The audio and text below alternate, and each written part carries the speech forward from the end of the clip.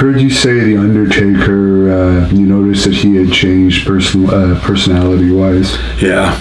You, back then, you, I guess you take it personal. You know, you do, especially when they screw you over. you really do.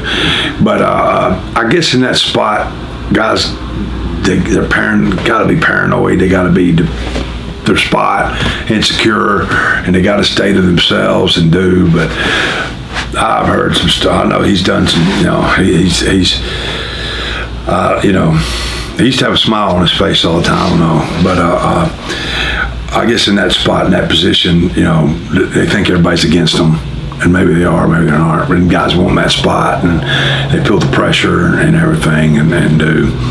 Uh, but uh, I mean, look at the run he's had. I mean, it's amazing, you know, what the guy's done. You know, I mean, you can't, yeah, no, but uh,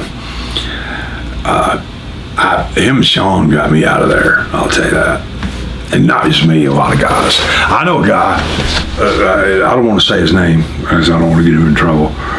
Uh, but uh, um, it was at a meeting, and this kid was in developmental, and he hurt his arm or something, or elbow, or cast some kind of way.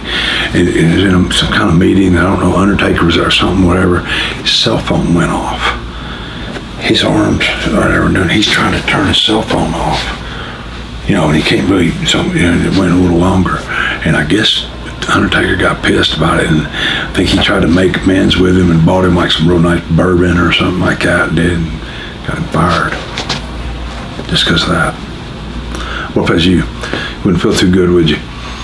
No, Not too good at all. Not too good at all. But I mean, you hear stuff like that, whether it's true or not. You know, I don't know. I don't. You know, you, as you get older, you kind of look at things and. I mean, you could say this guy did that or that guy did that, dude. But you, a lot of times, nine times out, of you look in the mirror and you go, well, you know, maybe that face in the mirror didn't help it, help it either. You know, we all mess up. You know, so. But uh, I stand by whatever I said about him in the past, you know, and, and what he did because he did it, and other guys do too. But uh, uh, what are you gonna do, right? What are you gonna do? You know, uh, be number one in my book. you know? But no, hey, uh, you know, him and Shawn were two of the greatest of all time. I mean, without you know, but uh, sharks. I guess you got to be a shark.